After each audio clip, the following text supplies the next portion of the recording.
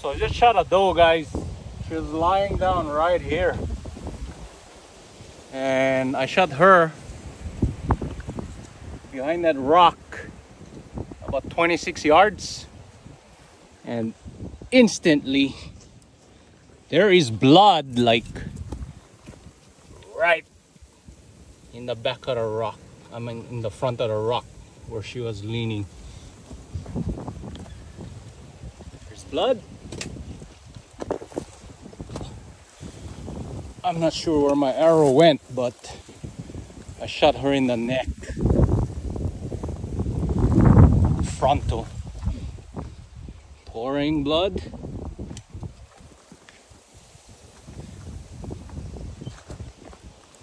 More blood on the rock right there. Blood on the grass. Oh yeah. She's boring, guys. Almost every foot there's a drop of blood. Lots of it.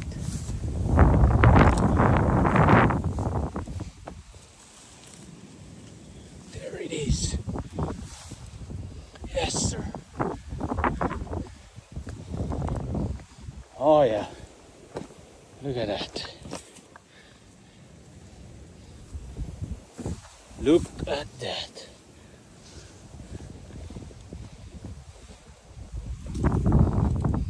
Blood. Oh. I look like 15 feet away from me and I can see lots of blood. Oh, there she is, guys.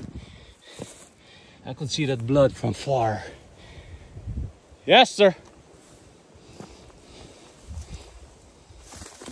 Frontal neck shot.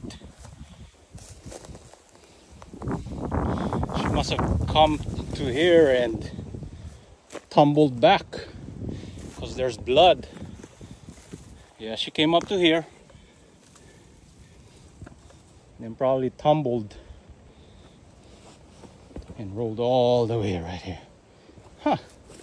So far tumble, man.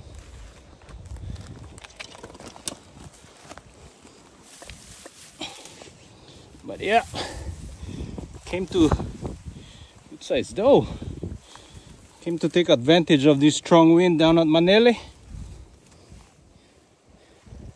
Frontal jugular shot. She was lying down, so instead of aiming at the body, I aim at her neck. She actually looked at me when I stood up full draw. But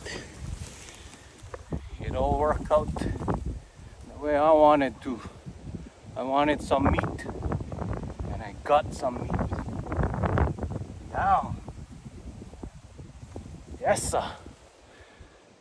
Beautiful day, beautiful place to hunt. Man, that's some robs right there. Let me take some video of that robs for you guys. It's a monster robbing.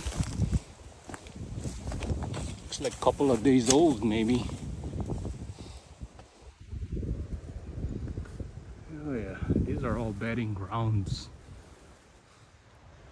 I like coming down here when it's really, really windy. But,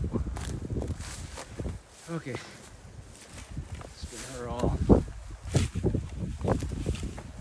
cropped up and processed, deboned.